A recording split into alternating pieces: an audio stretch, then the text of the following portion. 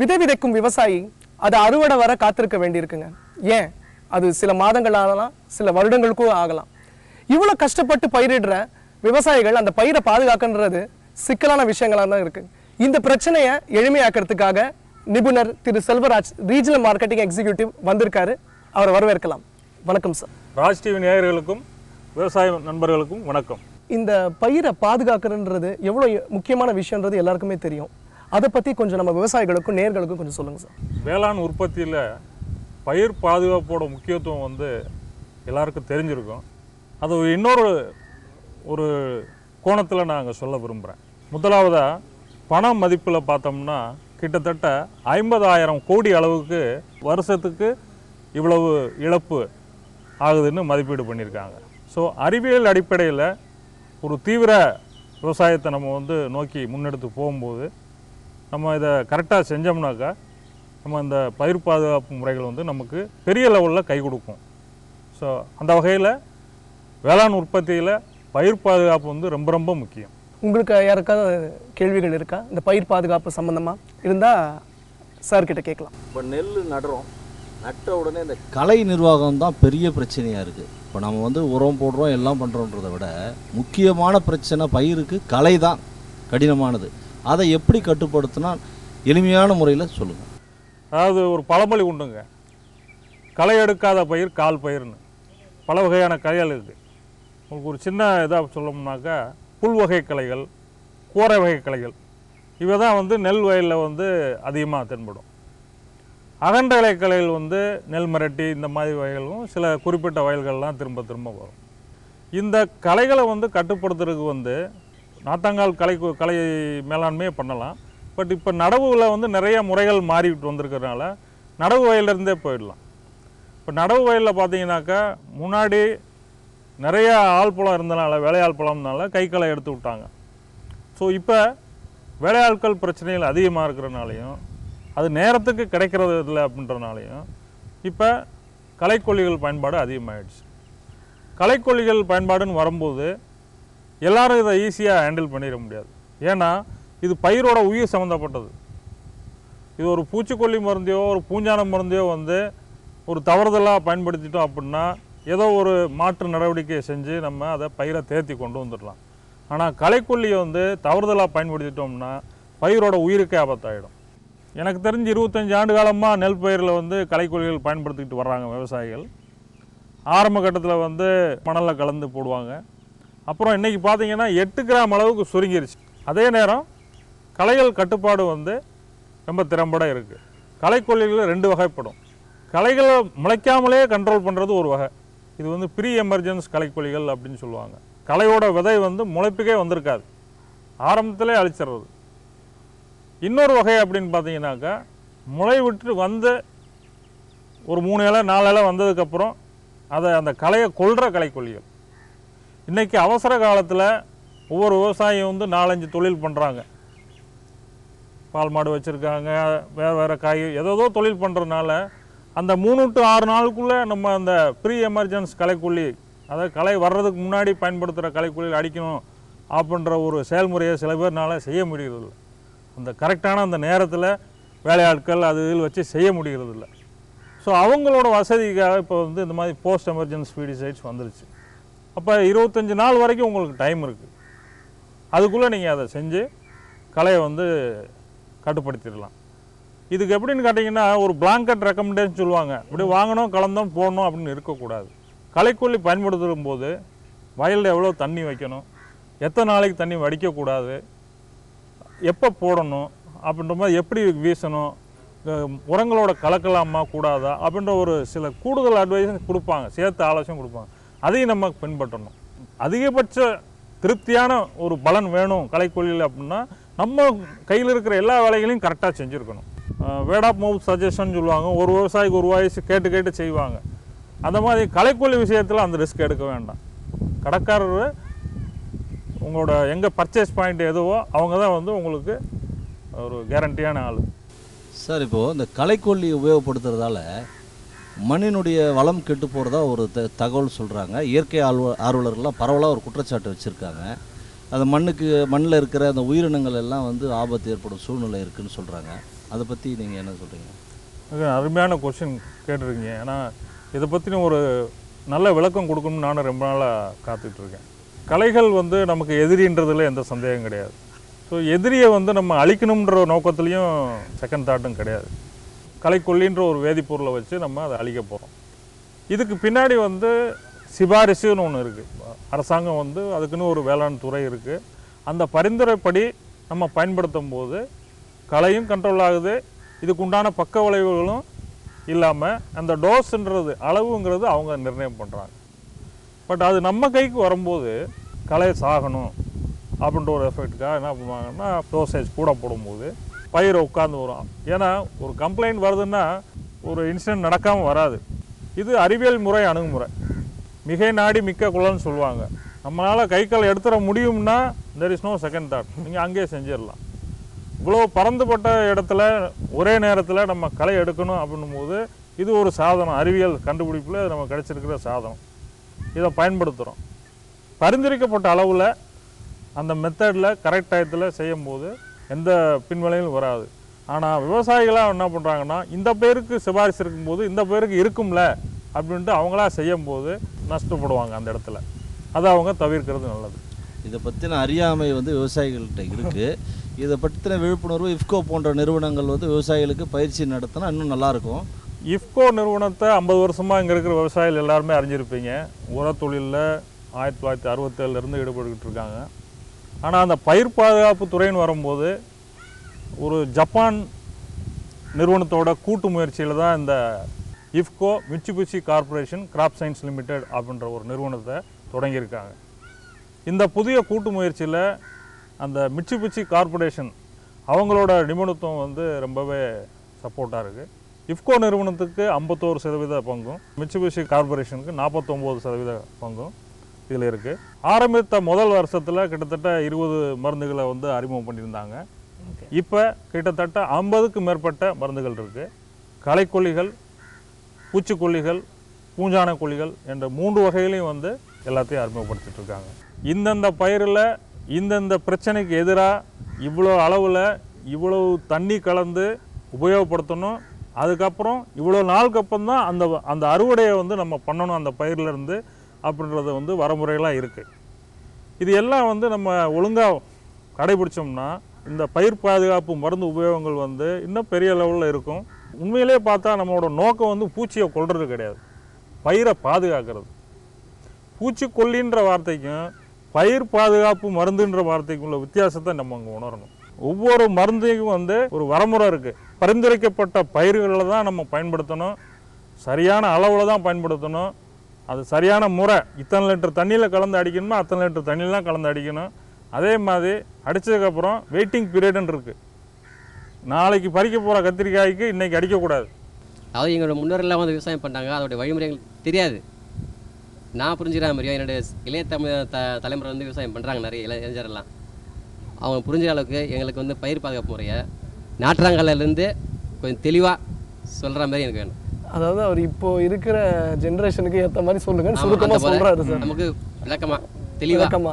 நெல்லை பொறுத்த வரைக்கும் முதல்ல வந்து முன்னாடி கையிருப்பு நெல் வச்சுருப்போம் விதை நெல். இப்போ யாருக்கிட்டேயும் இல்லை. எல்லாம் வந்து கடையில் போய் விதை நெல் தான் வாங்குகிறோம் ஸோ விதை நெல் வந்து ஒரு ஏக்கருக்கு வந்து சிபாரிசு குறைஞ்சபட்சம் முப்பது கிலோ. இப்போ ஒரு ஏரியா பொறுத்த மாதிரி நாற்பது கிலோ போடுறாங்க அதுக்கு மேலேயும் போடுறாங்க. நாத்தாங்காலுக்கு நான் சொல்கிறது சரி. நேரடி நெல் வதுப்பு இன்றைக்கி நிறைய இடங்களில் வந்து நாத்தாங்கால் மெயின்டைன் பண்ண முடியல அதுக்கு உண்டான வசதி வாய்ப்புகள் இல்லை தண்ணி இல்லை அப்படின்றனால நேரடி நெல் வதுப்பு போகிறாங்க ஓகே. ஆனால் பாரம்பரிய முறையில் நம்ம நாற்று விட்டு நாற்றை வளமையாக முப்பது நாள் எடுத்து அதை நட்டு அப்படி பண்ணுற முறைக்கு நான் சொல்கிறது பொருந்தும்.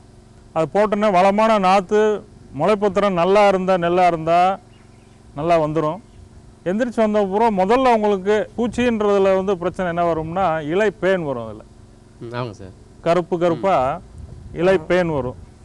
அதை எப்படி கண்டுபிடிக்கிறது அப்படின்னா நீங்கள் வந்து நாற்று மட்டத்திலே உட்காந்து உங்கள் கையை ஈரக்கையை மேலே அப்படியே ஜென்டிலாக தடவிட்டு நீங்கள் கையை பார்த்தீங்கன்னா அந்த மாதிரி ஒரு அஞ்சாறு இடங்களில் நீங்கள் செஞ்சு பார்க்கும்போது அந்த மாதிரி கருப்பு பூச்சி உட்காந்துருந்ததுன்னா உங்களோட வெறும் கண்ணுக்கே அது தெரியும். அந்த இலை பேன் வந்து அட்டாக் ஆகுதுன்னு அர்த்தம். அடிப்படையில் இது வந்து சாறு உறிஞ்சும் பூச்சி. பூச்சிகளில் அது எப்படி நம்மளை அட்டாக் பண்ணுது நம்ம பயிரை அட்டாக் பண்ணுற வச்சு நிறையா பிரிக்கலாம். அதாவது சாறு உறிஞ்சுறது கடித்து இலையை கடித்து மென்று சுவைஞ்சு சாப்பிட்றது தண்டை ஓட்டை போடுறது வேரை கட் பண்ணுறது நுனியை குருத்தை கட் பண்ணுறது இந்த மாதிரி ஒவ்வொரு ஆக்ஷன்லேயும் ஒன்று இருக்கும். அது எப்படி நம்மளை அட்டாக் பண்ணுதோ அந்த வகையில் தான் போய் நம்ம வந்து அதை கொல்லணும் நம்ம. அதை போய் நம்ம வந்து ஊடுருவி பாயிற வசதி வச்சு கொல்ல முடியாது. ஏன்னா அதை வந்து அடிக்கிறதுக்கு வந்து ஹெவி ஃபோர்ஸ் வேணும். அப்போ வயிற்றுக்குள்ளே வந்து நமக்கு பாய்சன் அனுப்பணும். அப்போ ஸ்டமக் பாய்சனை குடல் வலி நெஞ்சா கொடுக்கணும். இந்த திரிப்ஸ்னு சொல்லக்கூடிய இலைப்பேன் வந்து சின்ன சின்ன பூச்சி சாறு உறிஞ்சிற பூச்சினால இது வந்து ஜூஸ் தான் சாப்பிடும். அப்போ அந்த சிஸ்டமிக் பாய்சன் சொல்லக்கூடிய ஊடுருவி பாயக்கூடிய பூச்சிக்கொல்லி மருந்தை வந்து நம்ம ஸ்ப்ரே பண்ணிட்டோம் அப்படின்னா அந்த சிஸ்டமிக்ன்றது வந்து பயிருக்குள்ளே அந்த நெல் பயிருக்குள்ளே ஊடுருவி போயிடும். எந்த இடத்துல உட்காந்து இந்த பூச்சி அந்த சாரை உறிஞ்சினாலும் சேர்த்து போயிடும். ஸோ இந்த வகையில் அந்த இலைப்பேனை வந்து நம்ம திறம்பட கட்டுப்படுத்திடலாம். சரி. அடுத்ததாக பார்த்தீங்கன்னா சில சில புள்ளி நோய்கள் வரும். ஏன்னா இலைன்னு வந்துட்டாலே அதில் புள்ளி வர ஆரம்பிச்சிடும் இந்த நோயின்றது வந்து சுருக்கமாக சொல்லப்போனால் ஒரு பூஞ்சானம். அந்த பூஞ்சானமும் ஒரு தாவரம் தான் என்னன்னா அதுக்கு பச்சையம் இல்லாத ஒரு தாவரம். நம்ம வச்சிருக்கிற நெல் இதெல்லாம் பார்த்தீங்கன்னா பச்சையம் உள்ள தாவரம் தனக்கு தேவையான உணவை வந்து அதுவே தயார் பண்ணிக்குது. ஆனால் அந்த பூஞ்சானம்ன்றது பச்சையம் இல்லாத தாவரம்னால திருடி சாப்பிடுது. நம்ம வச்சிருக்கிற மூலப்பயிர்லேருந்து அது திருடி சாப்பிட்றது. அந்த அந்த சத்து எடுக்கப்பட்ட பயிர் வந்து நமக்கு புள்ளியாக தெரியுது. இலைகள்ல. இலைகளில். இப்போ இந்த நாலஞ்சு புள்ளிகள் சேர்ந்து ஒன்றா மெர்ஜ் ஆயிடுச்சுன்னா அந்த இடமே blank ஆகிடும் இப்போ இதில் முக்கியமாக இலை புள்ளிகளும் வரும். குலை நோய் சொல்லக்கூடிய ஒரு பூஞ்சானம் இருக்குது அந்த பைரிக்குலர் உரசன் அது ஒவ்வொரு பூஞ்சானத்துக்கும் ஒரு அறிவியல் பெயர் இருக்குது ஒவ்வொரு பூச்சிக்கும் ஒரு அறிவியல் பெயர் இருக்குது இதெல்லாம் வந்து குடும்பம் அப்படின்னு கிளாஸிஃபை பண்ணியிருக்காங்க.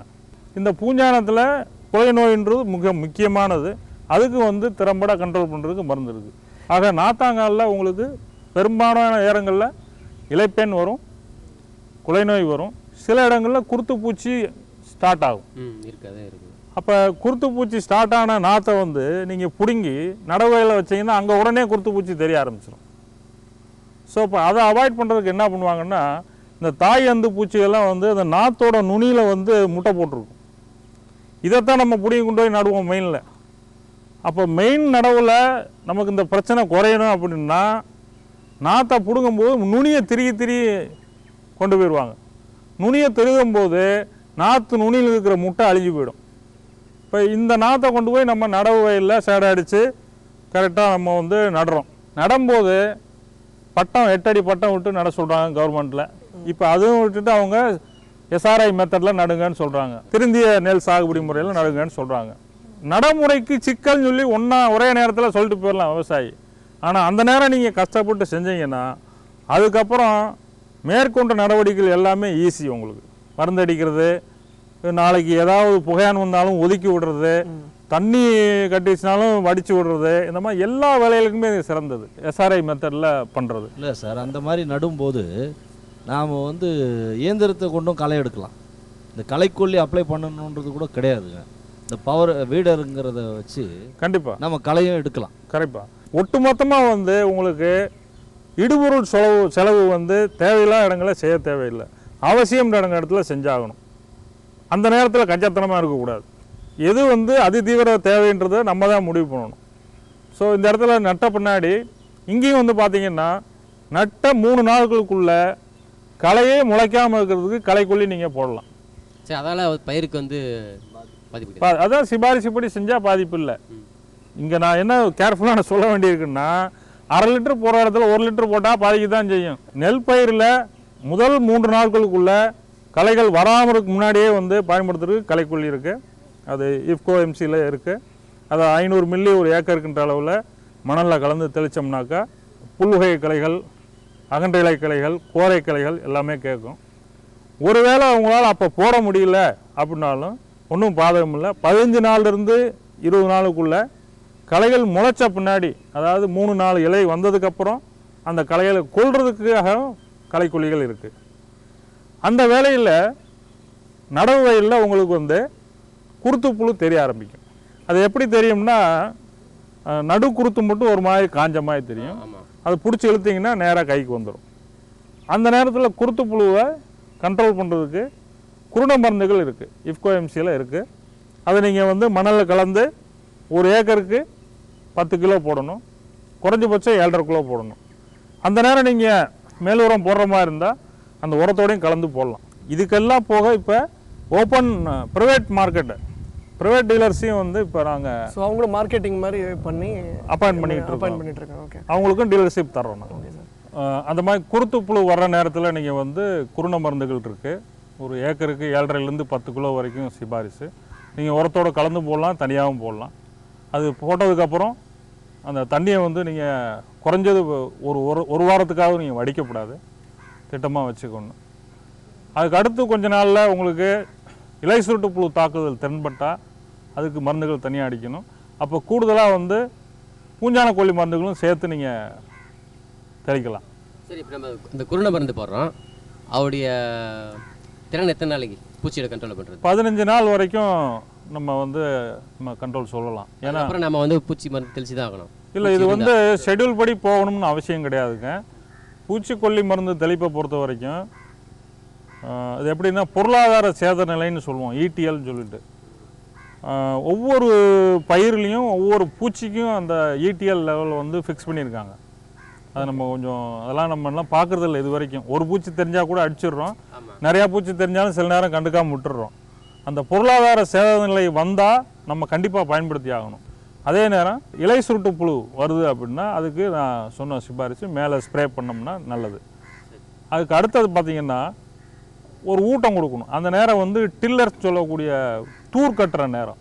அப்போ எக்ஸ்ட்ரா கொஞ்சம் வந்து நம்ம பேரூட்டங்கள் என்பிகே கொடுக்கறது கூட கூடுதலாக வந்து சத்துக்குருணைகள் இப்போ இஃப்கோவில் வந்து சாகரிக்கான்னு ஒரு சத்துக்குருணை இருக்குது அந்த மாதிரி ஒரு ஏக்கருக்கு பத்து கிலோ உரக்குடலோட கலந்து தெளிக்கணும். ஏன்னா ஒவ்வொரு தூர்லேயும் வந்து நமக்கு ப்ரொடக்டிவ் டில்லர்ஸ்னு சொல்லுவாங்க. அதாவது நெல்மணியாக மாறக்கூடிய தூர் வருது அப்படின்னா அதில் எல்லாத்துலேயும் வந்து உங்களுக்கு வந்து நெல்மணி வந்துடாது ஸோ அதில் நமக்கு வந்து ஒரு குத்தில் இவ்வளோ நெல்மணி வந்தாகணும் அப்படின்னு இருக்குது அதே மாதிரி ஆயிரம் நெல்மணிக்கு இவ்வளோ வெயிட் வரணும்னு ஒரு கணக்கு இருக்குது இந்த மாதிரி ஸ்டாட்டிஸ்டிக்ஸ்லாம் போட்டு அவங்க இது பண்ணுறாங்க அப்படி வந்தால் தான் நமக்கு வெயிட் வரும் விளைச்சல் வரும் எல்லாம் வரும். இப்போ அதெல்லாம் வரணும்னா அந்த அந்தந்த காலகட்டத்தில் இதில் செஞ்சாகும் செஞ்சா கொஞ்சம் தூரெல்லாம் கட்டினதுக்கப்புறம் இந்த இலை உறை கருகல் நோயின்னு ஒரு நோய் இருக்குது அதை வரப்போகிறவங்கள முதல்ல ஸ்டார்ட் ஆகும். ஏன்னா அந்த வரப்பு சுத்தம் பண்ணாமல் வச்சுருந்தீங்கன்னா அந்த பூஞ்சான வித்து அந்த வரப்போகிறது இருக்க புல்களில் தான் இருக்கும். அது கரெக்டாக அந்த நீரில் பரவி அப்படியே போய் பிடிச்சிரும். அது அப்படியே உள்ளே போயிடும் அது ஆரம்ப கட்டத்தில் நீங்கள் கண்ட்ரோல் பண்ணலைன்னாக்கா மிகப்பெரிய இழப்பை கொண்டு. பாம்பு படம் நோய் சொல்லுவாங்க. பாம்பு படம் எடுத்தால் பின்னாடி எப்படி ரவுண்ட் ரவுண்டாக தெரியும். அந்த மாதிரி இருக்கும் உங்களுக்கு தேம்பல் மாதிரி இருக்கும். ஸோ அதுக்கு வந்து நல்ல திடமான மருந்துகள்லாம் இஃப்கோ எம்சியில் இருக்குது அதை நீங்கள் சிபாரிசு வந்து ஐநூறு மில்லி ஏக்கருக்கு அதை நீங்கள் செய்யணும். அதுக்கு அடுத்ததுன்னு பார்த்தீங்கன்னாக்கா நிறைய இடங்களில் வந்து இலை கொலை நோய் வரும். பண்ணாமல் விட்டுட்டோம் கண்ட்ரோல் பண்ணாமல் விட்டோம்னா கழுத்துக்குள்ள நோய் கணுக்குலை நோயின்னு மாறி போயிடும். அந்த நேரத்தில் இழப்பீடு விலை வந்து ரொம்ப அதிகமாகிடும் அதுக்கும் இஃப்கோ எம்சியில் நல்ல மருந்துகள் இருக்குது இதை விட்டுட்டு பார்த்தோம்னாக்கா புகையான். புகையான் வந்து ஒரு ரெகுலராக வரக்கூடிய ஒரு பூச்சின்னு சொல்ல முடியாது. அது அப்படியே ஒரு இடத்துல அறுப்பு நடவடிக்கை ந- நடக்க நடக்க அதுங்க அதுக்கான சாப்பாடு இல்லைன்னா அப்படியே நகர்ந்துக்கிட்டே வரும். இப்போ அதுக்கும் வந்து நம்ம சிறப்பான மருந்துகள் இருக்குது அதை அடிக்கிற மெத்தட் ரொம்ப முக்கியம். ஏன்னா இங்கிட்டு அடிக்கும்போது இங்கிட்டு போயிடும். பக்கத்து வயல்காரர் அடிக்கலைன்னா அங்கே போய் உட்காந்துரும் அங்கேருந்து அப்புறம் திருப்பி இங்கே வரும். ஸோ அந்த மாதிரி நல்ல மருந்துகள் இருக்குது பட் அடிக்கிற மெத்தடை ஒரு நாலஞ்சு பேர் கம் கம்ப்யூட்டர் சேர்ந்து கூட சேர்ந்து அடிக்கலாம். சரியா அந்த மாதிரி இதெல்லாம் வந்து பூச்சி நோய்கள் சம்மந்தப்பட்டது. இதில் கடைசியாக வந்து பார்த்தீங்கன்னா கதிர் வந்ததுக்கப்புறம் பால் பிடிச்சதுக்கப்புறம் கூட அதில் சைனிங் இல்லாமல் போயிடும் சில நேரங்களில். அதுக்கு என்ன சார் காரணம்? அது இயற்கையிலே கோல்டன் கலரில் இருக்கணுங்க. நெல் வந்து நல்ல வெயில் அடிக்கிற நேரம். நாற்பது டிகிரிக்கு மேலே அடிக்குதுன்னா அந்த அந்த நெல் மணி இப்போ கையில் எடுத்து பார்த்தாலே தங்கமாக இருக்கும். தக்க தக்கன்னு. இங்கே பார்த்தீங்கன்னா டர்ட்டி பேனிக்கல்னு சொல்லுவாங்க. ரொம்ப அழுக்கா நிறமிழந்து போகிறதுன்னு சொல்லுவாங்க. அது ஒரு ஒரு காம்ப்ளெக்ஸ் பூஞ்சானம். இந்த பூஞ்சானத்தினால தான் அது வருதுன்னு இன்னும் சொல்ல முடியல யாராலையும். அது ஒரு ஒரு மிக்சிங் ப்ராப்ளம் அதுக்கு வந்து கெமிக்கல்ஸ் இருக்குது ஸோ அது வந்து பயன்படுத்தினா அந்த பிரச்சனையிலேருந்து நம்ம தப்பிக்கலாம். இது போக கதிர்னா வாய் பூச்சின்னு ஒரு பூச்சி இருக்குது அது என்னன்னா பாலை மட்டும் குடிச்சிடும் எல்லாம் பண்ணி வச்சுருப்போம். கரெக்டாக வந்து மேலே உட்காந்து சாரை உறிஞ்சிட்டு போயிடும் அடுத்ததாக பார்த்தீங்கன்னாக்கா அந்த ஃபால்ஸ் மட்டும் சொல்லுவாங்க நெல் பழம்னு ஒரு நோய் இருக்கும். பார்த்தீங்கன்னா மஞ்சள் மஞ்சளாக நெல் மேலே ஐஸ்கிரீம் மாதிரி குப்பி குப்பியாக இருக்கும். இது வந்து வந்தால் ராசின்னு சொல்லி ஒரு மூடநம்பிக்கை இருக்குது மக்கள் மத்தியில். சொல்கிறாங்க அது போல். அது மூடநம்பிக்கை. ஆக்சுவலாக அது ஒரு நோய். இதை வந்து அந்த நோய் வந்ததுக்கப்புறம் கண்ட்ரோல் பண்ண முடியாது. அது விதையாக இருக்கும்போதே அதை விதை நேர்த்தி செய்யணும். இல்லாட்டி அந்த மாதிரி வயல்கள்ல இருந்து விதை நேர்த்தி விதைக்கான தேர்வு செய்யக்கூடாது. இந்த விஷயங்களை கேப்பை வந்து பிரிட்ஜ் பண்ணுறதுக்காக தான் எங்களோட மெயின் வேலை இஃப்கோ எம்சி ஸோ எந்த ஒரு இதுலையும் குட் அக்ரிகல்ச்சர் ப்ராக்டிஸ்னு சொல்லுவாங்க. அதாவது சிறந்த வேளாண் நடவடிக்கைகள்னு சொல்லி. இந்த பயிர் பாதுகாப்பு நடவடிக்கைகளை வந்து சிறந்த முறையில் செய்யணும். அதாவது சரியான நேரத்தில் சரியான அளவில் சரியான முறையில் இதெல்லாம் வந்து பயிர் பாதுகாப்பு நடவடிக்கைகளை வந்து விவசாயிகளை செய்ய வைக்கணும் அப்படின்றது தான் எங்களோட மெயின் நோக்கம். பயிர் பாதுகாப்பை பற்றி பேசிட்டு இருக்கோம். இன்னும் நிறைய பேசுவோம். அதுக்கு முன்னாடி ஒரு சிறிய விளம்பர இடைவேளை. மண்ணிலே வயல்வெளியிலே மனதிலே நெல் விதையிலே வானம் பூமி காற்றிலே அறிவிலே கை அருகிலே. ஓர் ஐம்பது ஆண்டுகள் மண்ணோடு சொந்தம். விவசாயிகள் பாரதத்தின் பெருமை தாங்கியே.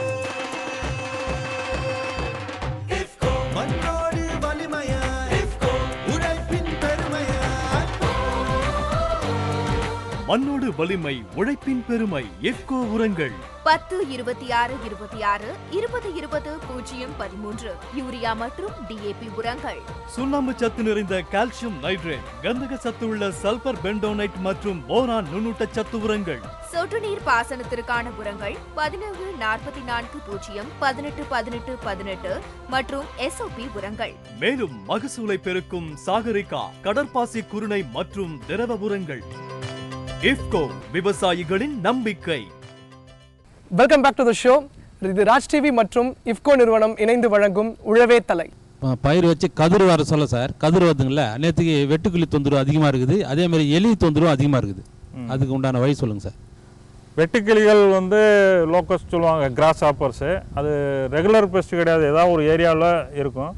அதுக்கு வந்து ஸ்ப்ரே பண்ணிக்கலாங்க. ரெண்டாவது வந்து இந்த எலி பிரச்சனைகளுக்கு வந்து ஒரு முன்னாடி ரேஷியோ இருந்ததுங்க. நல்ல பாம்புக்கும் நெல் வயலுக்கும் எலிக்கும் ஒரு ரேஷியோ இருந்தது. நெல் வயலில் நல்ல பாம்பு அதிகமாக இருக்கிறதுக்கு காரணம் வந்து எலிகள் தான். ஸோ இப்போ அதுக்குள்ளே ஒரு பேலன்ஸ் இல்லை.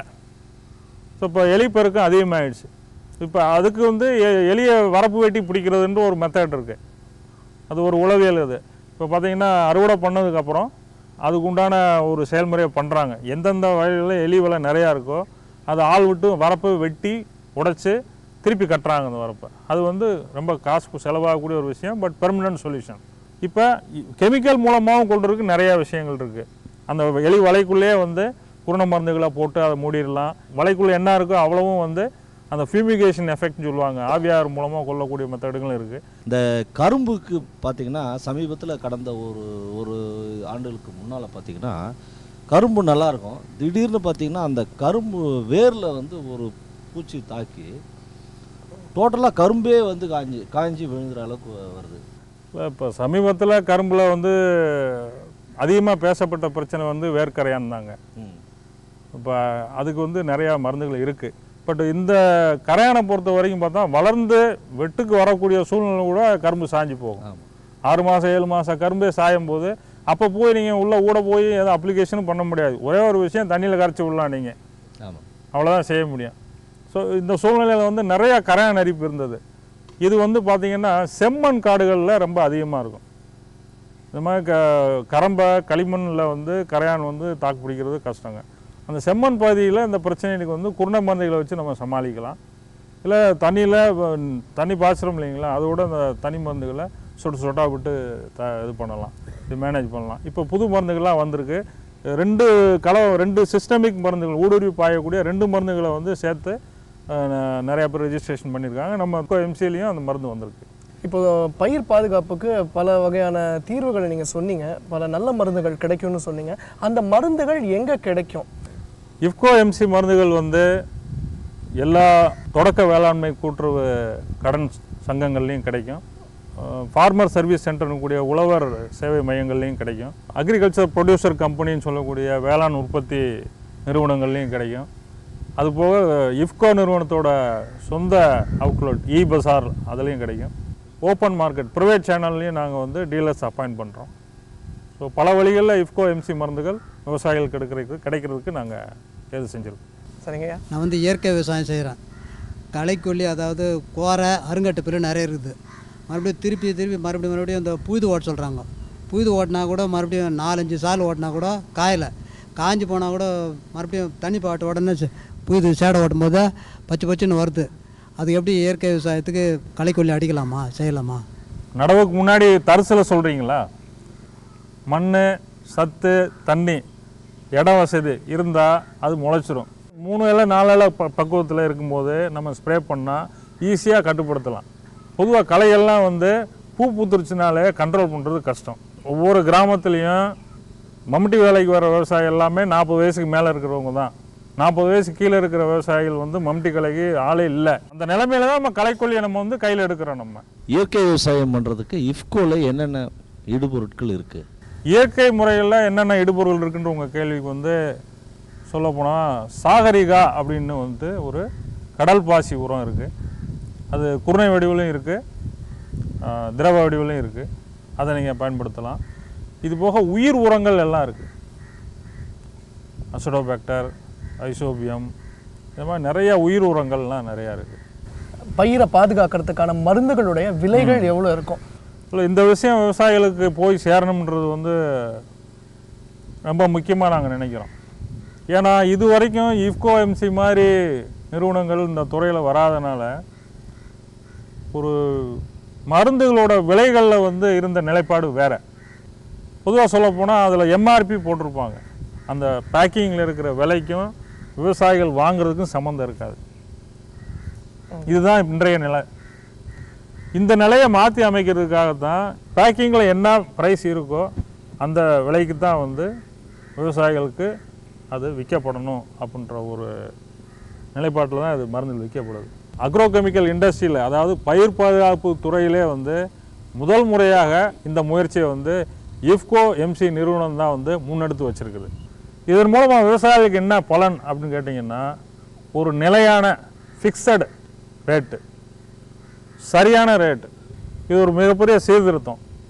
இதை வந்து சொசைட்டி ஆகட்டும் ஃபார்மர் சர்வீஸ் சென்டர் ஆகட்டும் agriculture production company producer company ஆகட்டும் இ பஸார் ஆகட்டும் இன்றைக்கி ஓப்பன் பண்ணிகிட்டு இருக்கிற ப்ரைவேட் டீலர்ஸ் ஆகட்டும் எல்லாமே இதே மாதிரி பாலிசியில் தான் அவங்க பண்ண போகிறாங்க தரமான பொருட்கள் நியாயமான விலை. நாங்கள் எடுத்திருக்கிற இஃப்கோ எம்சி மூலமாக நாங்கள் மையப்படுத்துகிற விஷயம் இதுதான். அது சொல்கிறது கரெக்டாக தான் இருக்குது அந்த வகையில் வந்து இவங்க வெளிப்படையாக தான் பண்ணிட்டு இருக்காங்க இது வந்து வரவேற்க தகுந்தது தான் இதனால் ஈல்டும் நல்லா தான் இருக்குது கடந்த வருடம் பார்த்தீங்கன்னா நான் ஏக்கருக்கு முப்பத்தெட்டு மூட்டை எடுத்திருக்கேன். நான் ஒரு ஏக்கருக்கு. ஓ. பன்னெண்டு டன் ஆச்சு. மூணு ஏக்கர் எண்பத்தொம்போது சென்ட்டில் பன்னெண்டு டன் எடுத்தேன். பேடியில். வேற நல்ல ரிசல்ட்டு இஃப்கோ தான் யூஸ் பண்ணேன். வேறு எதுவும் நான் மாற்றம் எதுவும் பண்ணல இஃப்கோ எம்சி மருந்துகள் பயிர் கு- பயிர் பாதுகாப்பு மருந்துகள் வாங்குற விவசாயிகளுக்கு இலவச விபத்து காப்பீடும் கொடுக்குறாங்க. இதற்கு சில விதிமுறைகள் இருக்குது அது வாங்கின ரசீது இதெல்லாம் நம்ம வந்து அந்த மாதிரி ஒரு சூழ்நிலை யாருக்கும் வரக்கூடாது. சப்போஸ் வந்துருச்சு அப்படின்னா அதை வந்து சம்மந்தப்பட்ட இஃப்கோ எம்சி அதிகாரிகள் மூலமாக வாங்கின இடங்கள் மூலமாக செஞ்சோம்னா அதுக்கு உண்டான இழப்பீடை வந்து அவங்க நேர்பணி தராங்க காப்பீடு திட்டம் எத்தனை நாளைக்கு அது தொடங்கப்படுது. இஃப்கோ எம்சி மருந்துகள் வாங்கின ஒரு மாதம் கழித்து அது வந்து செயல்பட ஆரம்பிக்கும். அதுலேருந்து ஒரு வருஷ காலத்துக்கு வந்து அந்த காப்பீடு வந்து உங்களுக்கு செஞ்சு கொடுக்கப்படும். ரொம்ப நன்றி. நீங்கள் கொடுத்த இன்ஃபர்மேஷன் விவசாயத்தை பற்றி ரொம்ப யூஸ்ஃபுல்லாக இருந்துச்சு. எனக்கு மட்டும் இல்லை பார்த்துட்டு இருக்கிற நேயர்களுக்கும் சரி விவசாய மக்களுக்கும் சரி இது ரொம்ப யூஸ்ஃபுல்லாக தான் இருக்கும். கண்டிகை ஊர் மக்களுக்கு ரொம்ப நன்றி. உங்கள் எல்லாருக்கும் ரொம்ப நன்றி. இதே மாதிரி வேற ஊரில் உங்களை இப்கோ டீமோட உங்களை நான் சந்திக்கிறேன். அத்துடன் விடுபடுவது உங்கள் கோக்கம்